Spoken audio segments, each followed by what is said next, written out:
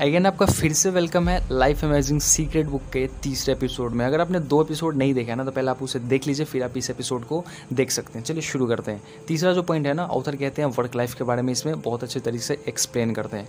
Work life की अगर मैं सिंपल तरीके से बात करूँ ना तो ऑथर कहते हैं ना कि ज़िंदगी में अगर आपको खुश रहना है, आपको एक हैप्पी लाइफ को फील करना है ना तो कभी भी आप अपने आप को किसी के साथ कंपेयर मत करो। Don't compare yourself with others ये चीज़ ना, आपको हमेशा पीछे ले जाएगी और जब आप पीछे जाएँगे ना, तब अपने आप को एक बहुत ही गिरे हुए नज़र से देखेंगे, और जैसे आप गिरे नज़र से देखेंगे ना तो आपको लगेगा ना कि यार ज़िंदगी में मैं ही बहुत बुरा हूँ, मैं ही बहुत ख़राब हूँ, भगवान ने मेरे को बहुत बुरा बना दिया। और यही चीज़ जो है ना, आपको ज़िंदगी में कभी खुश नहीं रख सकता है। इसलिए ना, अगर आपको खुश रहना तो ज़िंदगी में ना, कभी भी किसी के साथ अपने आप को कंपेयर मत करो। हाँ आपको कंपेयर करना है तो आप अपने आप से करो, अपने आप को कम्पटीट करो, अपने आप को एक इम्प्रूव करो, तब ज़िंदगी में ना, एक ऐसा मुकाम आएगा जब आप वहाँ पहुँच करके बहुत ज़्यादा हैप्पी लाइफ को फील करोगे। मिलते हैं अगले एपिसोड में, तब तक लिए थैंक यू